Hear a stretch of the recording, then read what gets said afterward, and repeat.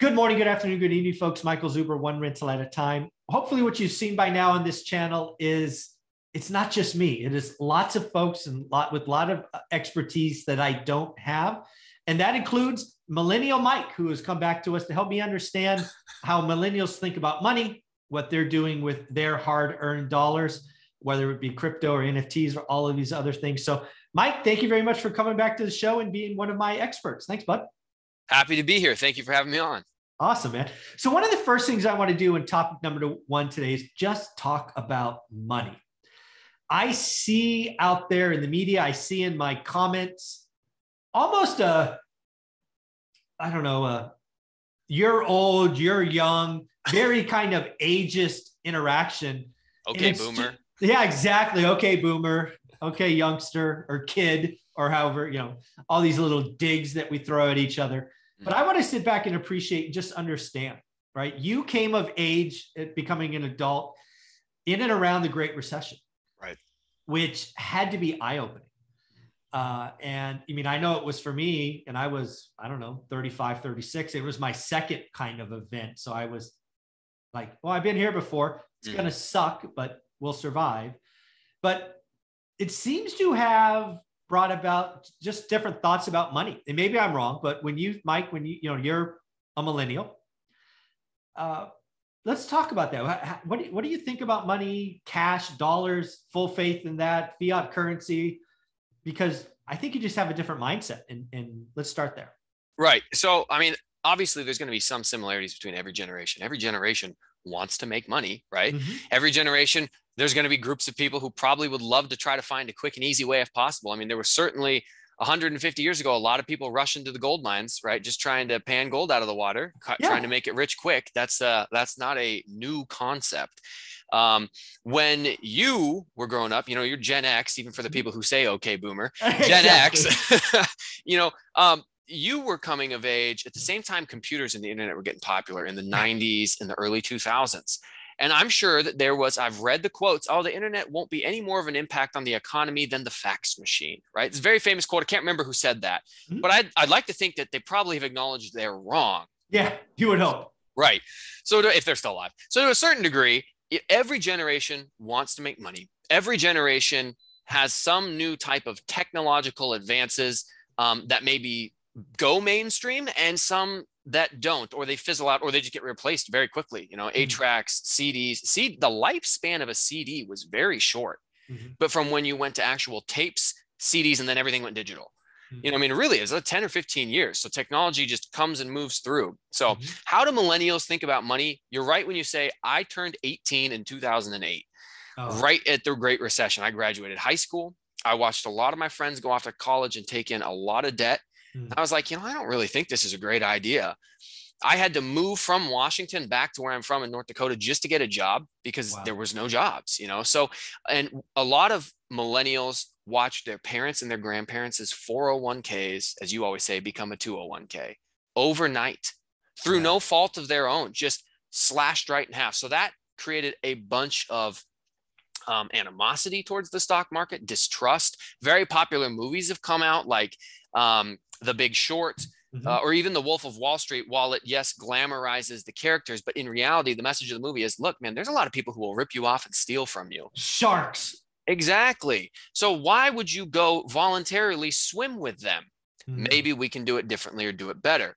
Um, but ultimately, like I first started with, I don't think that the desire to make money, to forge our own path forward, to contribute something new, and then, of course, everyone's desire to maybe I can get rich quick. That that desire has not gone away. So we still think of money similarly, but we're just a lot more technologically uh, accepting of new things right. that we're like, sure, we'll jump on this bandwagon and try this and try that and see what works. I think that's a great place to go to because again, when I think about my generation, Gen X, it was the computer. It was kind of sit. They were really big, right? I remember going to my first one of my buddies' house who had the first Commodore uh, I remember, shoot, I remember getting an Atari with the little black joystick and red, and red button, right? I've, I've, seen them in pictures. Yeah. Shut up. yeah, but you know, you're, you're so right because that was our moment to get rich. And again, I knew, I mean, everybody wanted to write code mm-hmm.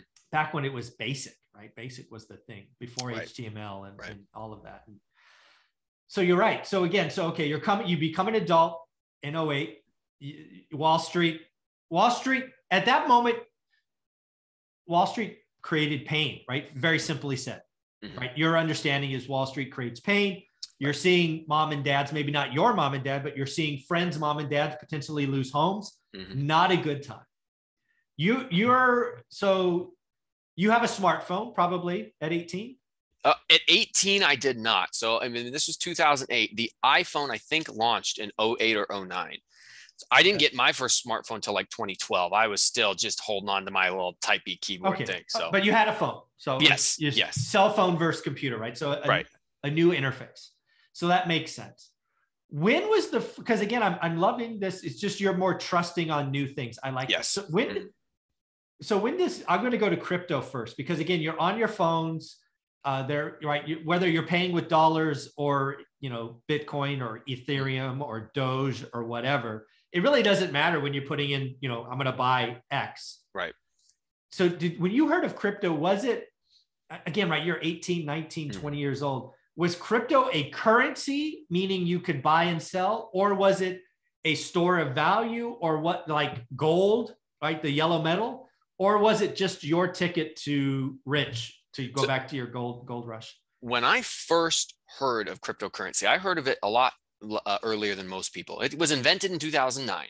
Okay. But it was popular on the in the online poker industry and ah. online gaming. Um, and so, as the nerd that I was back then, I played a lot of World of Warcraft. You can see Halo on the wall behind me. Yeah. World of Warcraft is a very interesting game because millions and millions of people all share an online space together and interact with each other ongoing. You get on the game, you get off the game, but it's always constantly running. And within the game, there is a game currency. That mm-hmm. way to make the currency in that game takes your time. You have to spend time completing tasks, and that's how you make that digital currency. Well, what was interesting with World of Warcraft is people began not wanting to spend the time to earn it themselves. Mm-hmm. So, what they would do is there would be people who would voluntarily make the money and then sell it for real dollars. They would go on eBay and say, Hey, I'll give you this much in game currency if you pay me this much real American dollars. So you could buy a currency. And this was one of the first known, like, uh, transactions for a digital asset, right? It had value because it represented a um, investment of time to get it. Got it. And so people could be like, you know what? I don't want to spend 10 days making this. I'll just pay somebody to do it for me and I can skip to the end. Mm. And the funny thing was, is for a while, the value of the in-game World of Warcraft currency was more stable and more valuable than the Venezuelan dollar. Oh wow!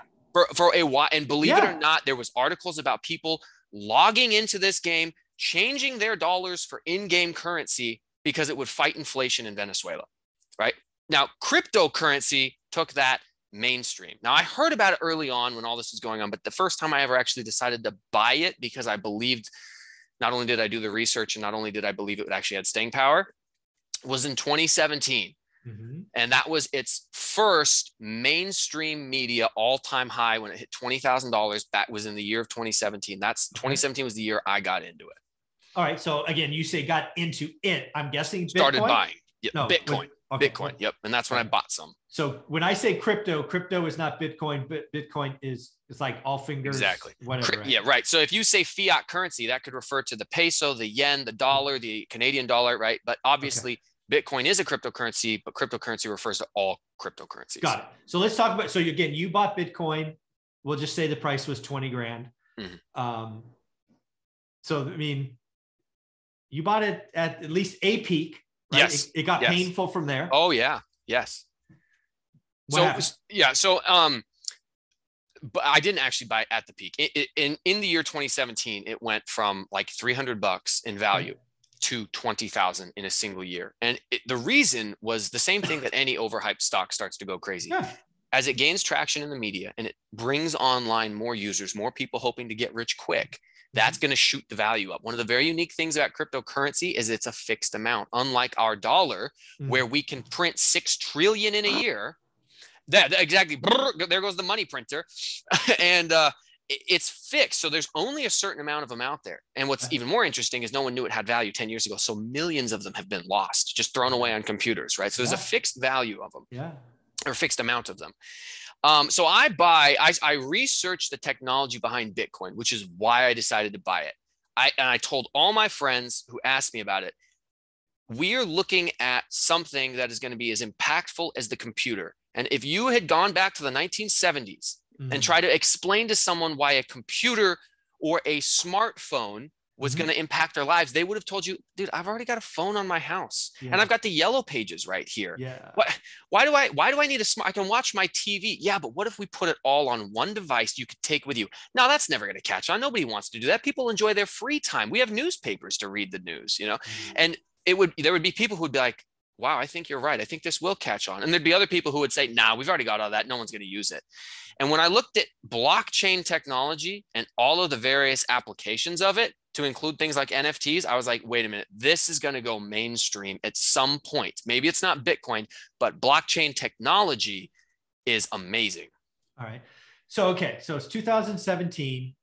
You do the research on the technology, which I'm glad you got to, which is blockchain, not Bitcoin. Bitcoin's right. is Bitcoin a technology or is it just a Bit, unit? Well, Bitcoin, all these cryptocurrencies have their own blockchain. So Bitcoin used the, I guess blockchain was technically invented in like the 90s, but no one did anything with it for like 20 years until Satoshi Nakamoto decided to use it to create a cryptocurrency. Got Explaining it. what blockchain is is a little bit difficult, but I can do it. Okay. I brought visual aids. Um, uh, essentially, do you want me to explain it? Yeah, go for it. Let's do okay. it. Okay. All right. So essentially, what blockchain is is this right here. This represents, let's call it a file. Okay. And this file right here contains the entire uh, entirety of the blockchain as it stands right now. It also contains a copy of the previous version of the blockchain. The Bitcoin blockchain is updated every 10 minutes. What changes from this one to this one is transactions. So this one contains all the history of all Bitcoin today. And then when we start buying and selling and exchanging, those transactions create a little mark like this on the blockchain. And now this one is different from the original blockchain. You can see this one mm-hmm. obviously is different. This was the first one. Here's the second one that shows some transactions have happened. Mm-hmm. And then 10 minutes later, a new version is created. I know it's not yellow, but pretend it is. A new version is created that has a copy of this one in it yeah. and then now records all uh, transactions that occurred in this segment of 10 minutes. So every 10 minutes, the blockchain updates.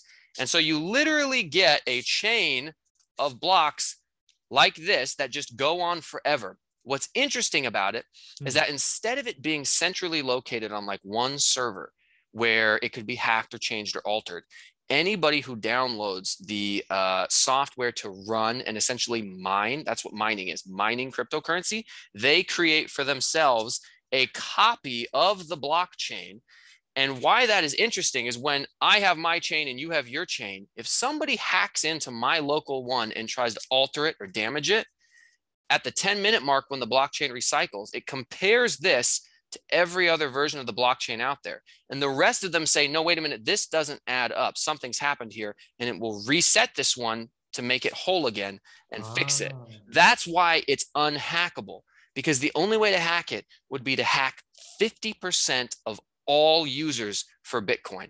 But hmm. there's millions and millions on different computers, devices, phones, all across the world, platforms, operating systems. You can't do a hack that big. Mm. So that's why I will call it as close to unhackable as possible. That's where the value is. It's it's truly like a Loctite technology, which is impossible for programming. That's why it's valuable. All right, so that's the technology, and that right. technology, I agree, has seemingly endless applications. I think of what I talk about all the day, real estate. And think about title companies as an example. Exactly. That is eventually going the, the way of the yes, dodo bird, right? hundred percent. Title in real estate will be done differently pick your time frame five ten years whatever it is. Mm. so I, I agree. Blockchain is is game changing for right. identification of ownership for transactions all of that. And you saw this back in 17 so I, I, I researched it all back then yes. Okay. so okay now now you make your purchase right? So i'm guessing you didn't pay 20 grand for your no no. I bought as early as 13 15 and 17 thousand dollars. And i watched it go to 20 and then tank all right, so let's talk about that from because that's where I wanted to go to. Let's just say your average coin's 15 grand for for for shits and giggles. Mm. So now you turn around and it's all the way down to four. Right. And oh, by the way, you you still now you're how old are you at that point? Uh, in 2017, it's 26. So now you're eight years since the Great Recession. Why aren't you telling yourself, "Oh, great, this is just like last time. It's just these other people getting." I mean, why don't you look at it and say, "Oh well, they, they got me again." well, so the difference is here. Um, it, a lot of people in my generation who began buying Bitcoin did exactly that, and they sold and they lost everything because they sold at the bottom. Mm-hmm. Um, me, I was never dumb enough to put any money I cared about in there in the first place. This ah. was prior to me buying my first rental property, but I was still financially savvy and not the type of person who just made dumb investments. So I mm-hmm. only put in, I was putting in 50 to 100 bucks a month. That's it. Money that if I lost, I didn't care. I was not emotionally attached to it. So, you know, I only invested around a thousand dollars or had a value of about a thousand dollars worth of Bitcoin. Not very much. Oh, that's another interesting thing. You don't have to buy the full $30,000 coin. You can buy all the way down to one millionth of a Bitcoin, tiny, tiny fractional amounts of it. Yeah, called a Satoshi. Satoshi is the smallest uh, fractional yes. amount of it. Well done. Well done. boomer. No. Well, you're not even a boomer. You're no. you're Gen X. Anyways, so I, I wasn't, you know, I was dipping my toes in because I was like, look, I, am interested in this. I think it's going to go somewhere. I mean, it could 10x, but I'm not the kind of guy who's going to throw. I'm not going to put it all on black, right? Right. So I just okay. I put some in there, and when it crashed, I diamond handed it because I didn't care, and I, but, I firmly did believe. you buy more? Did I did. Buy- I oh! bought I bought the whole way down awesome. because I believed that much in the technology. If you really research the technology, okay. it's like looking at a smartphone in the 70s and saying, at some point, this will be big. So I believed it. And again, I didn't buy a ton. No, but you were to 100 bucks here or there, all the way down, dollar cost averaging to even when it hit $3,000 a coin. Uh, now that now that is much respect. Okay, I like it. All right, so obviously from Bitcoin became a lot of other coins, and I think this is where you I think this is where you lose the boomers. Just to keep the analogy, right. is when you get 17 different colors of purple, and some are blue, and some are mm-hmm. orange, and some are clearly scams. Right. And oh, 100%. we can't and we can't figure out the difference, so we lump them all together as scams. It's garbage. It's garbage, right? We're not smart enough to know Wall Street's going to take our money again. This time it's just it's not Wall Street. Now it's an 18 year old in a basement who's going to do a rug pull. It's going to burn everybody, right? Pump and dump. Pump and dumps. I mean, yep. same stuff we've dealt with, like the dot com crash. Just yep. throw a dot com and you're worth 100x and mm-hmm. bogus, bogus. So, when did you buy or have you bought a second coin? Because it sounds like, at least initially, it was all Bitcoin. I did. At the same time I was buying Bitcoin, I put some into Ethereum. Oh, you did? Okay. What I liked about it, so I researched, my only concern with Bitcoin has ever been because no one knows who actually created it. Is it just uh is it, it it's Satoshi Nakamoto? Is that a real person? He disappeared shortly after creating it and launching it. It's speculated he has millions of bitcoins in his account, but no one's heard from him. He like made a tweet in 2010 and no one's heard from him since. Did the hmm. Chinese government disappear him? Who knows? Right. Um, so my only concern with Bitcoin is how do you update it? Technology has to be updated and changed and patches and things like that. So that's been my own. And there's been what's called a fork, mm-hmm. which is sort of like when you split stocks, mm-hmm. um, but a little bit different.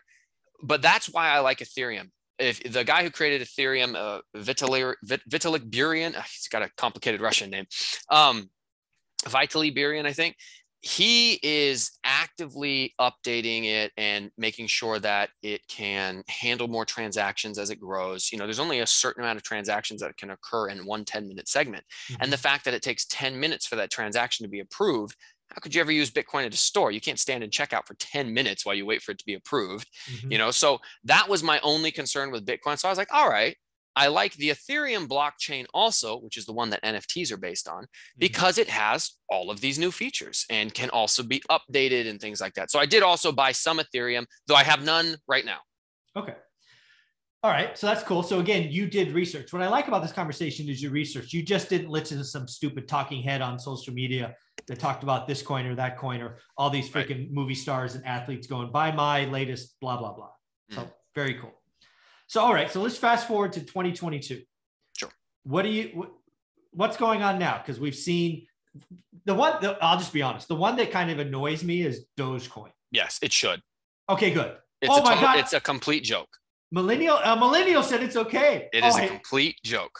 So I researched, right? Because again, uh-huh. I'm like, hey, I put one, I put 1% of my net worth in crypto in November mm. of 20. So almost, well, a year and a half.